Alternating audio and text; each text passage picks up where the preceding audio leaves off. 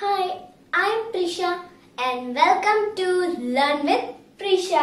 इस वीडियो में आपको बताने वाली हूँ कि कंप्यूटर कोडिंग क्या होता है कंप्यूटर कोडिंग मैंने कैसे लर्न किया है। सो लेट्स स्टार्ट सबसे पहले हम देखते हैं कि कोडिंग या प्रोग्रामिंग क्या होता है। जैसा कि आप जानते हैं कंप्यूटर एक मशीन है।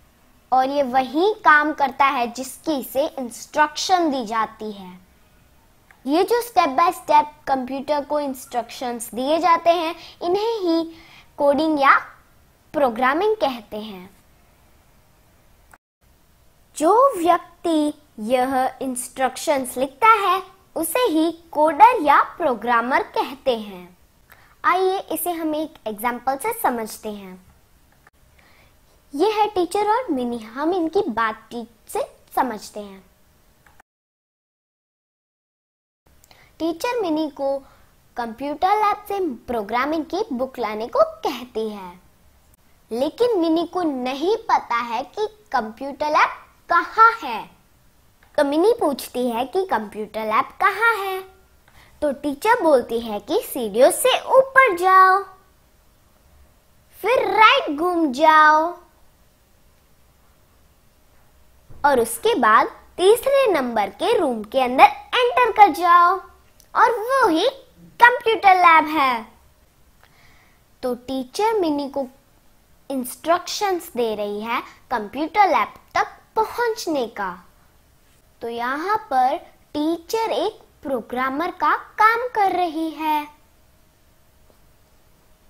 कंप्यूटर की प्रोग्रामिंग बहुत सी लैंग्वेजेस में बनाई जा सकती है, जिन्हें कंप्यूटर लैंग्वेज कहते हैं।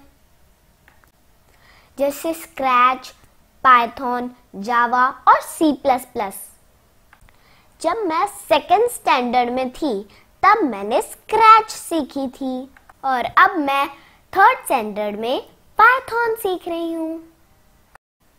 चलिए मैं आपको स्क्रैच का एक छोटा सा डेमो देती हूँ। स्क्रैच में आप ऑनलाइन या ऑफलाइन प्रोग्रामिंग कर सकते हैं। ऑनलाइन स्क्रैच प्रोग्रामिंग के लिए आपको scratch dot M I T dot E D U पर जाना है। अब मैं आपको एक छोटा सा प्रोग्राम बना के दिखाती हूँ। हम इन ब्लॉक्स को यूज़ करके कैट को मूव करते हैं। ये जो मैं बना रही हूँ, वो बहुत ही बेसिक प्रोग्राम है। आप स्क्रैच में बहुत से अच्छे अच्छे कार्टून वीडियोस और गेम्स बना सकते हैं। जैसे जैसे मैं अपने ब्लॉक्स में सेटिंग चेंज कर रही हूँ वैसे वैसे कैट मूव कर रही है।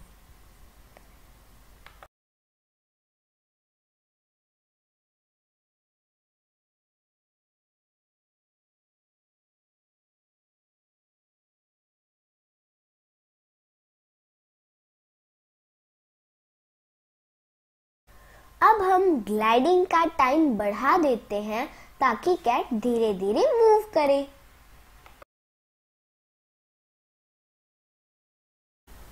अब आप देख सकते हैं, जैसे ही मैं ग्रीन फ्लैग पे क्लिक करती हूँ तो कैट धीरे धीरे मूव करती है। आई होप आपको मेरा वीडियो पसंद आया होगा। तो वीडियो को लाइक करें।